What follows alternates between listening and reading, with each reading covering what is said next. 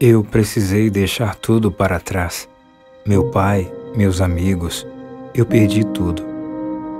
Não assassinei ninguém, não roubei nada, não fiz nada ilegal. Eu só encontrei Jesus e me rendi a Ele de todo o coração.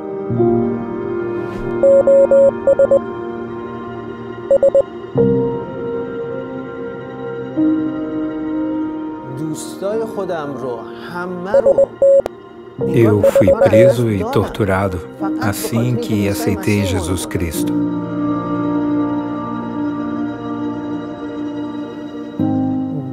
Após me liberarem da prisão, eles descobriram que eu não parei de me encontrar com os cristãos. Acabei fugindo do Irã, porque se fosse preso uma segunda vez, com certeza não sairia. Todos os anos, seguidores de Jesus fogem da perseguição aos cristãos no Irã. Eles se tornam refugiados em outros países. As circunstâncias são desafiadoras. Muitos fogem sozinhos. Kurush é um deles.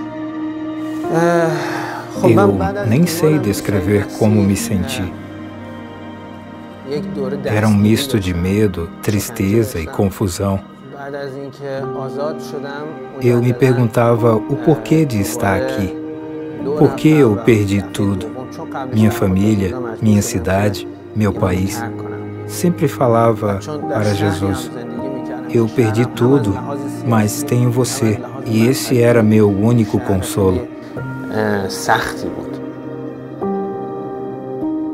Korush está na Turquia há seis anos, mas não consegue esquecer de suas primeiras semanas como refugiado.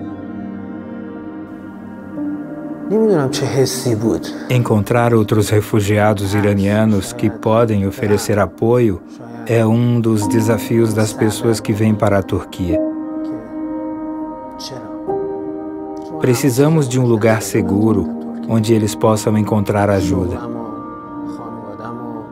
quando olho para trás,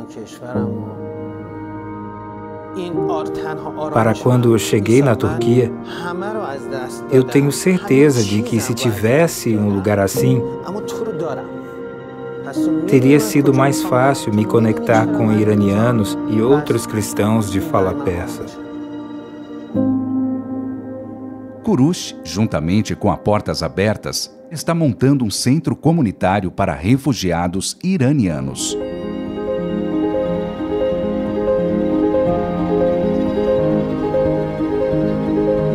Ali, cristãos poderão encontrar cuidado pastoral, material cristão e ajuda emergencial.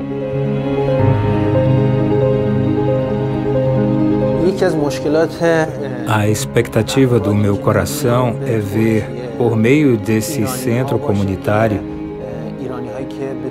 o início de um lindo ministério. Estou contando os dias para isso. Fico muito feliz com a oportunidade de trabalhar nesse ministério. E para que isso aconteça, precisamos de suas orações. A nossa oração alcança o que não podemos alcançar com as nossas próprias mãos.